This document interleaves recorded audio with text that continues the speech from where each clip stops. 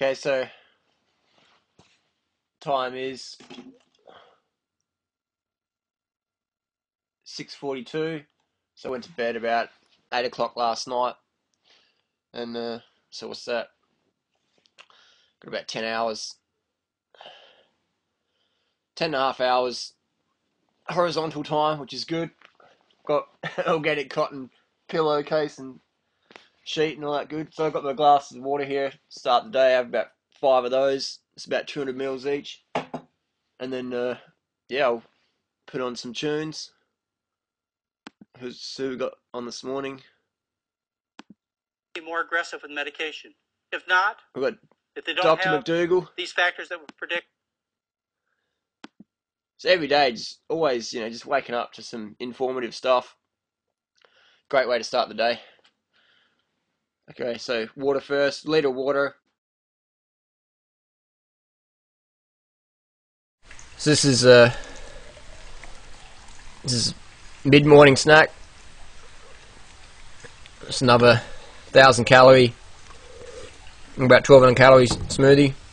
So it's uh, about 11 o'clock and we've had 2500 calories for the day. This one's just bananas, dates and water. Look at that, perfect level. Mmm. Tastes amazing. Mm. chewing that juice. Or chewing the smoothie rather. Mm. So got a box of ripe bananas. This local certified organic grower. Got a box of uh, organic medjool dates on the other side of the world, California.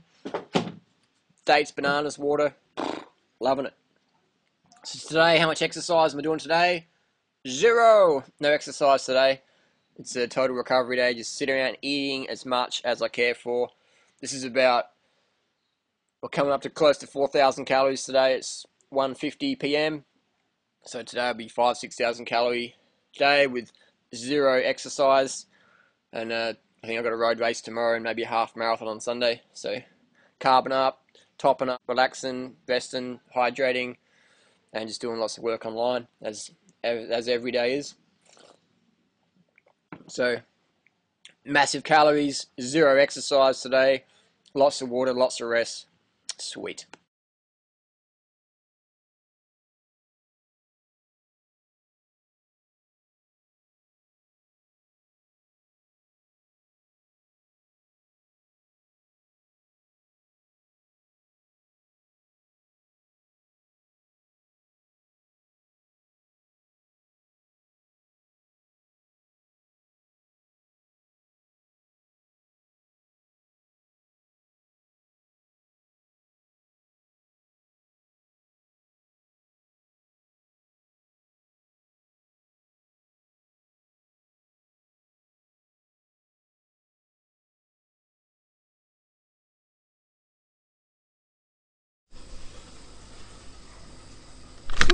Hello,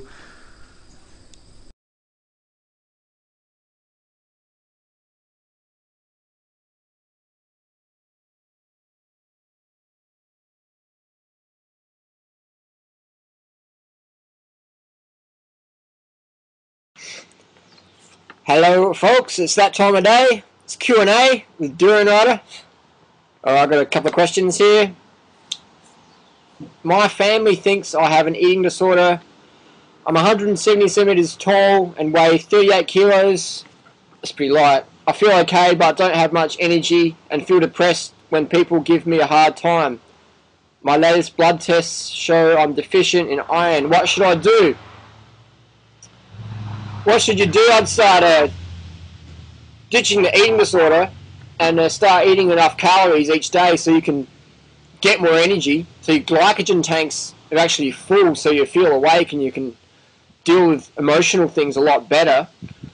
You won't get depressed when people give you a hard time. You'll start to see an objection as a request for more information and be able to give it to them via better blood tests because you're getting enough calories, more energy because you're getting enough calories, increased lean muscular mass because you're getting enough calories. You can, you know, become fit and look like a, an athlete rather than a, a starvation camp victim.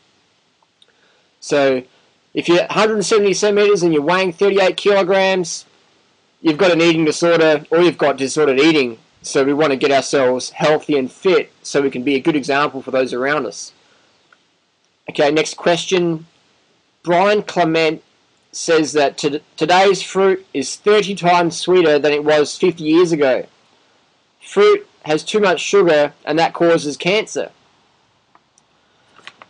Firstly, Brian Clement, great guy doing great things, uh, Hippocrates, but the notion that today's fruit is 30 times sweeter than 50 years ago means that 50 years ago, to get 3,000 calories, I'd have to eat 900 bananas versus 30. Because 30 times 30 is 900. So how on earth would I be able to eat 900 bananas if that was the case 50 years ago? 900 bananas for 3,000 calories? I don't think so. But I wasn't around 50 years ago. I've talked to Doug Graham on this one, and Doug was around 50 years ago, and he, he says the fruit was sweeter as a child back then. And when I give fruit to my grandmother, who's 85, I give her cherries or apples or peaches. She goes, "This is just like I had when I was a child." You know, where did you get this from? I'm like, man, it's it's organic. You know, it's it's uh, quality. So the notion that fruit's sweeter these days is, is BS. Um, it's incredible. Because if you people say, but that's not true, Harley. It's all hybridized, and it's like everything's hybridized. It's, you go to the Amazon, everything's hybridized. You know, Brazil nuts are, we are, everything's hybridized. Hybridization and genetically modification is two different things. Just ask a, a biotech researcher; they'll tell you that. Fruit has too much sugar and it causes cancer. Well, how come people like Dr. Max Gerson put people on a high sugar, low fat, raw vegan lifestyle and cured cancer?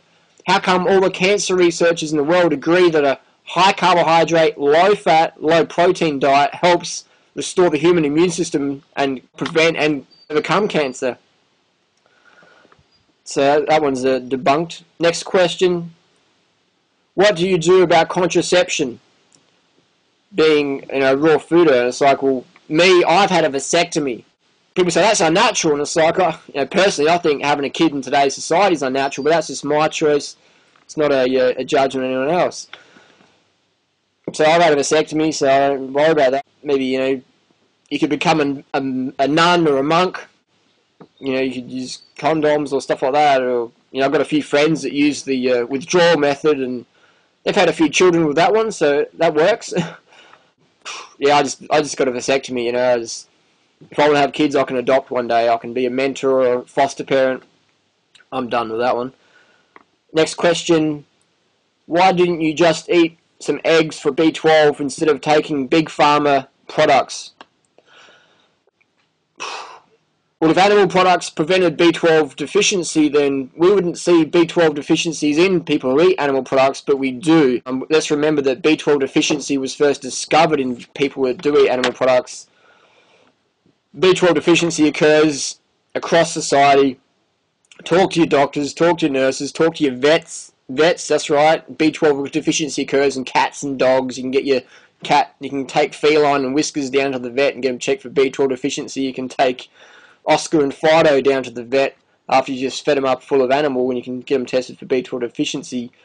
So why not just eat an egg? It's like almost out of I know nine raw paleo friends of mine, good friends of mine. Yeah, I'm friends with people who eat animals. You know, um, it's all good. Just because someone eats animals or cooked food doesn't mean they're not a friend of mine. Sometimes people assume that. I think Harley, you're just a vegan Nazi, and it's like I'm I'm a I'm a vegan man. I'm I'm cool. I'm human too. I've got friends and so anyways, all my nine raw paleo friends, they all have low serum B12. And they're all eating massive amounts of corpse and bovine drink and eggs and stuff every day. And it's like, so that one's debunked. Part of this lecture, Marketing Milk and Disease, has at least firmly established for you that milk is not necessary for good health, at least cow's milk for human health. Now I'm going to tell you about the real negative aspects of consuming dairy